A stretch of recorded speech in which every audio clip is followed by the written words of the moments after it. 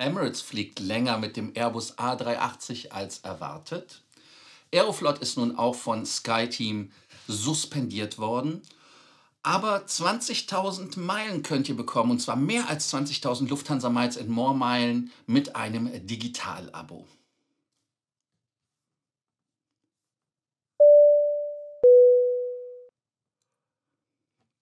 Mein Name ist Lars Korsten. Ich bin hier, um euch mehr Meilen, mehr Punkte und vor allem mehr Status zu bringen. Denkt daran, dass ihr unseren Kanal nach vorne bringen könnt, indem ihr uns abonniert, die Glocke anmacht, ein Like da lasst und unten kommentiert. Danke dafür. Und morgen ist der Stammtisch in Berlin. Denkt einfach dran, 28. Jabe Gastronomie. Südafrika ist gebeutelt und es ist weiter gebeutelt worden, bei dem der Flughafen Johannesburg das Problem hat, dass Kerosin knapp geworden ist, beziehungsweise sogar ausgehen wird.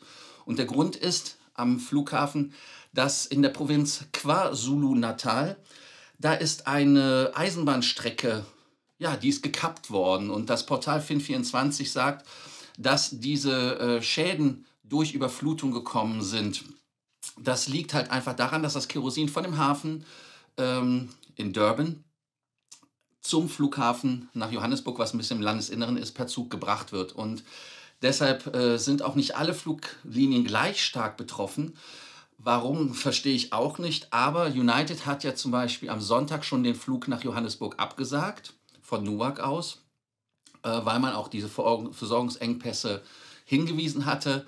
Man hat noch Reserven am OR Tambo Flughafen. Ihr erinnert euch, ich habe die Lounge dort be besucht letztes Jahr. Ja, war irgendwie um diese Zeit, ne? März, April. Ja, auf jeden Fall ähm, hat man halt am Montag noch für drei Tage Treibstoffvorräte gehabt. Ähm, es gab im Ende März auch so eine ähnliche Situation. In Luxemburg gab es sowas auch, aber da war es nicht, weil die Bahnstrecke kaputt war, sondern weil das eine ähm, einen Pipeline-Schaden gab. Da gibt es eine Pipeline. Frankfurt ist ja auch mit einem Pipeline verbunden. Lufthansa und Swiss fliegen den Flughafen ja auch an, wie ich sehr oft selber auch ausprobiert habe. Die 747-8 oder die 777 von der Swiss.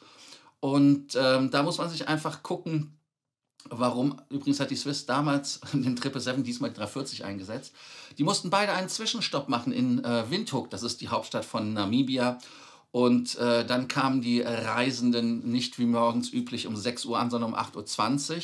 Und es wird auch so sein in den kommenden Tagen. Und das ist ganz einfach deshalb, weil es halt am Otambo-Flughafen, OR-Tambo-Flughafen, keine Treibstoffe mehr gibt. Und das ist halt ein Riesenproblem. Und ähm, da müssen wir einfach mal gucken, was da passiert. Man nennt zwar kein Datum bei der Lufthansa, da war es auch so, dass die Kerosinversorgung halt das Hauptproblem ist und äh, diese extremen Umwetter.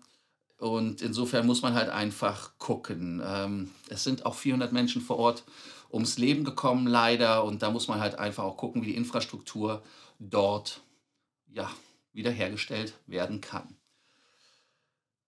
Boeing 777X. Ich habe es ja schon angedroht in einem meiner Sendungen, aber jetzt kam aus Chicago das, ja, das äh, offizielle Statement. Man sagt, es sind äh, Folgen des Ukraine-Krieges, aber auch heraus hausgemachte Probleme, die man selber gemacht hat. Und äh, man hat halt einen Verlust von 1,2 Milliarden US-Dollar bei Boeing gemacht. Ähm, und äh, ein Jahr zuvor waren es 561 Millionen das ist halt ein Riesenproblem, was die da haben. Die das Problem ist halt die Zertifizierung des Flugzeuges. Und äh, man rechnet jetzt auch damit, dass es das, was halt vorher durchgesichert ist, weil Boeing das auch schon den äh, Lieferanten gesagt hatte, dass das erste Exemplar der Langversion der 777-9 erst im Jahr 2025 ausgeliefert kann. Diese Verzögerung betrifft uns natürlich als Lufthansa-Kunden, ja, warum? Weil da die neue Business Class eingebaut werden sollte. Kommt nicht mehr. Und ähm, man hatte die, ja, man hatte das Ganze ja schon auf 2023 verschoben, gab davon eine Milliarde mehr Belastung. Dann wird es nochmal 1,5 Milliarden mehr kosten, weil es nochmal verschoben worden ist. Und das ist halt ein Riesenthema in meinen Augen. Warum? Ganz einfach, weil natürlich die Flug. Ähm, Flugzeugabnehmer, Emirates allen voran, nicht happy ist. Also insofern ein Riesenproblem. Kann natürlich jetzt schreiben, nimm die A350er, da habt ihr weniger Probleme.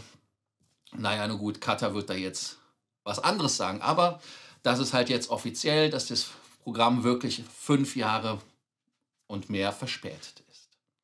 Ist das ein Flugzeug, auf das ihr Händering wartet, die 777 sagt, hey, die Bude will ich haben, mit der will ich fliegen? Oder sagt ihr einfach, mir egal, hauptsächlich kommt von A nach B? Kommentiert unten einfach.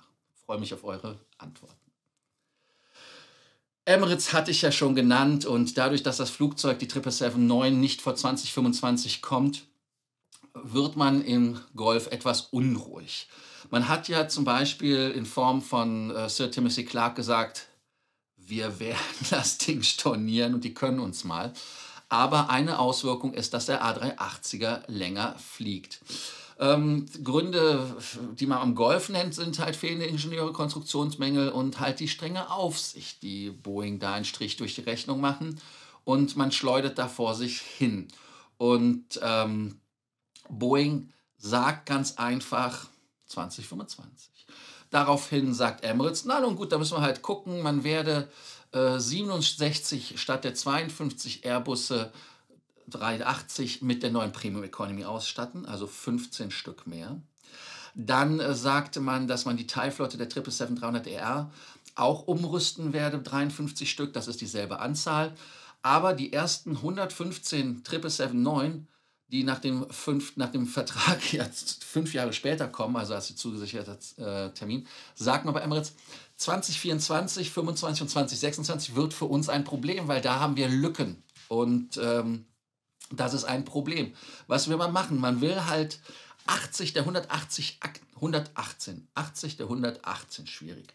Aktiven A380 und 40 bis 50 Boeing 777-300 die Nutzungsdauer anheben um jeweils sechs bis zehn Jahre. Einfach da, um sich Reserven zu schaffen. Und jetzt sagt man ganz einfach, ja, was passiert mit den 380ern? Warum ist das ein Problem? Ganz einfach deshalb, weil ein Flugzeug gewisse Zyklen hat. Ein Zyklus ist ein Start und eine Landung. Und der A380 zum Beispiel hat 19.000 Zyklen, kann also 19.000 Starts und Landungen machen. Dann muss es einen sogenannten Cycle Kit geben. Und man möchte den jetzt auf 25.000 bis 30.000 Zyklen erhöhen um den Doppelstöcker länger in der Flotte halten zu können. Und ähm, Clark wäre nicht Clark, wenn er nicht direkt gesagt hätte, stornieren wir ein paar von denen oder kürzen wir den. Also da wird noch was kommen. Und die 150 Stück, die man eh bestellt hatte 2019, sind sowieso auf 126 reduziert worden. Und äh, elf Stück muss man noch bestätigen. Und des Weiteren sagt man ganz einfach, bei Emirates, dass man das Netzwerk von Emirates in 2023 auf das Vorkrisenniveau wieder ansteigen lassen möchte. Und dann sind auch die 50 A380, die im Storage sind, auch wieder in der Luft. Also schauen wir mal, was passiert und wie das da weitergeht. Also ich muss mal einfach mal gucken, ob die am Golf dann den A350 doch wieder bestellen, mehr bestellen. Und äh, vielleicht gibt es ja auch andere Flugzeuge, die dann eine größere Version, der A350 Neo vielleicht, vielleicht gibt es eine Neo-Version, noch eine gestrecktere Version, es gibt ja einen 1000er, vielleicht gibt es dann den 1000, 2000er, ich weiß es nicht. Also mal gucken, was es da gibt. Aber man muss halt einfach gucken, ob die den Vertrag kündigen. Ich glaube einfach, Boeing wird die versuchen zu halten, dass man da noch mehr Rabatte bekommt. Wer keine Rabatte mehr bekommt und wer auch in der Welt der Vielflieger eigentlich keine Rolle mehr spielt, sind die russischen Fluggesellschaften. Die S7 ist ja von der SkyTeam schon suspendiert worden. Aeroflot ist heute auch suspendiert worden. Und ähm, wie es sich anhört, ist SkyTeam und Aeroflot da zu der Übereinkunft gemeinsam gekommen. Das Statement von SkyTeam sagt, dass man das Ganze zwar limitieren möchte von dem Einfluss auf die Passagiere mit den Benefits und den Dienstleistungen, aber man muss halt auch ehrlicherweise sagen, dass man keine Vorteile mehr bekommt, wenn man Aeroflot Vielflieger ist oder umgekehrt, wenn man einen SkyTeam ähm, Status hat, kriegt man auch keinen bei ganz genau bei Aeroflot. Andere Fluggesellschaften wären ja zum Beispiel Air France, KLM, Korean, äh, Delta oder aber auch Aeromexico, um einige zu nennen, und natürlich die berühmt-berüchtigte ITA. Aber die Frage, die ich mir stelle, ist einfach, ist das der S7 gegenüber fair? Die sind ja letzte Woche rausgeflogen. Okay, man nennt das suspendiert, aber mehr oder weniger ist es rausfliegen, weil die S7 ist ein Privatunternehmen und äh, die Aeroflot ist staatlich. Und äh, man hat ja auch immer gesagt, dass der Aeroflot, war auch damals bei der Interflug übrigens so in der DDR, dass das der verlängerte Arm der Stasi oder in dem Fall des KGB, der ja heute FSB heißt. Also insofern bei der Aeroflot macht es Sinn, aber macht es wirklich Sinn für die S7? Und äh, da bin ich mir halt nicht ganz so sicher, ob das fair ist. Aber da könnt ihr ja auch eure Meinung und eure Kommentare unten reinschreiben. Köln-Bonner Flughafen, Flughafen, der ja weniger gemocht wird als andere. Warum? Wegen der Lounge-Situation, aber auch weil der Flughafen, ja, wie soll ich sagen, sehr viel an Prestige verloren hat. Aber es gibt eine Fluggesellschaft, die kommt wieder. Vom 20. Juni an fliegt die Aegean wieder nach Köln-Bonn und zwar direkt von Athen. Und ähm, der Flug dauert ungefähr drei Stunden. Man startet um 13.10 Uhr, landet um 17.10 Uhr. Jetzt sagt ihr, oh, das ist aber mehr. Ja, natürlich Zeitverschiebung, ne? dran denken. Und äh, man hat ja schon bis 2014 den Flughafen angeflogen, aber man sagt ganz einfach, dass das eine positive Optimierung und Ergänzung zum bestehenden Flugplan ist. Das sagt Thilo Schmidt, Präsident und CEO vom Köln-Bonner Flughafen. Ja, insofern schauen wir einfach mal, was da passiert. Vor allem, man kann ja weiterfliegen von Athen aus mit der Fluggesellschaft Aegean auf die Inseln. Inselhopping kann man machen oder, aber auch Beirut, Kairo, Tel Aviv sind alles Ziele, die möglich sind. Damit hat man halt von Köln-Bonn direkt wesentlich mehr Möglichkeiten. Auch das Fluggerät, was eingesetzt wird, ist in meinen Augen sehr schön. Das ist ein A320. Und für Leute, die in Köln-Bonn sind, ist der Aegean-Status vielleicht so auch einfacher zu bekommen, weil man kann direkt von Köln-Bonn aus, auch von Düsseldorf aus, ne, äh, kann man dann direkt dahin fliegen. Braucht dann also keinen Connecting Flight oder muss dann irgendwie sich positionieren weiter nach Frankfurt oder wohin auch immer. Also insofern denkt dran, wenn ihr den Status bei Aegean haben wollt, vier Lecks auf Aegean fliegen. Was haltet ihr davon? Meilen, Punkte, Status, das ist das, wofür wir hier auch stehen. Und es gibt eine Aktion für 207 Euro bei Bota Direkt. Da kann man äh, 40.000 Payback-Punkte sammeln. Nein, halt, stopp, 40.000 muss man ja durchstreichen, weil die gesagt haben, es sind 20.000, war ein Fehler. Ähm, ihr seht das ja an dem Screenshot, äh, da wurden 40.000 versprochen, aber die werden halt nicht gut geschrieben.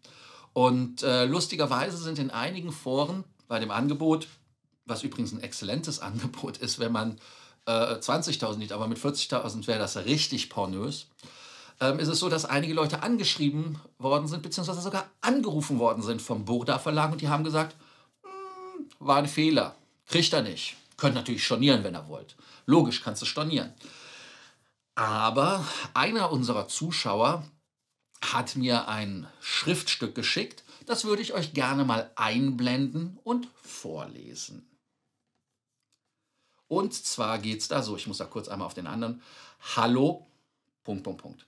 Vielen Dank für Ihren Einkauf bei Boda Direkt Zeitschriftenkiosk und Ihre anschließende Kontaktaufnahme. Ihrem Wunsch entsprechend haben wir die Gutschrift Ihrer 20.000 Punkte umgehend überprüft. Äh, die über E-Commerce gesammelten Extrapunkte werden Ihnen drei Tage nach der Bestellung automatisch gut geschrieben. Da der Verbrauch, Verbuchungszeitraum noch nicht abgelaufen ist, bitten wir Sie um ein wenig Geduld. Die Punktegutschrift erfolgt in Kürze und rückwirkend zum Einkaufsdatum. Wir freuen uns, dass wir Ihnen Auskunft geben und Ihr Anliegen klären konnten. Mit freundlichen Grüßen Katharina Sommer vom Payback Kundenservice. Also, ähm, ja, irgendwie klingt das nach 20.000 Punkten. Es wird Verwirrung geben. Ich weiß es nicht. 20.000 Punkte hat er schon, like irgendeiner Auskunft, gut geschrieben bekommen. Er meint, das klingt so. Was ist eure Meinung? Klingt das so nach 40.000 Punkten? Klingt das nach 20.000 Punkten? Ihr habt es selber gesehen. Was ist eure Meinung? Schreibt unten, kommentiert, lasst ein Like für die heutige Folge da. Und ganz, ganz wichtig, abonniert den Kanal, Glocke an. Und ich freue mich, wenn ich einige von euch morgen auf dem Stammtisch in Berlin persönlich begrüßen kann. Ich freue mich. Also, bis morgen und alles Gute. Bis dann. Ciao.